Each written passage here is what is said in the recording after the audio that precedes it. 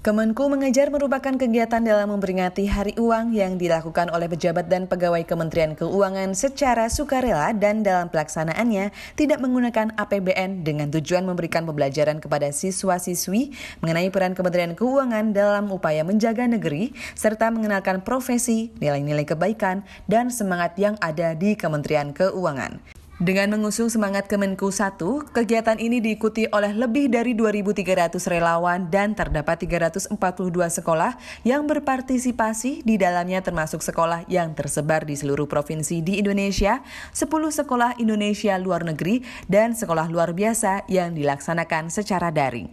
Direktur Jenderal Bea Cukai Askolani juga turut memberikan ilmu mengenai peran pemerintah dalam menghadapi COVID-19. Ke depannya Kemenku Mengajar juga terbuka apabila ada sekolah sekolah yang ingin berpartisipasi dalam kegiatan ini. Dari Kantor Pusat Bea dan Cukai, Kanal BCTV mengabarkan.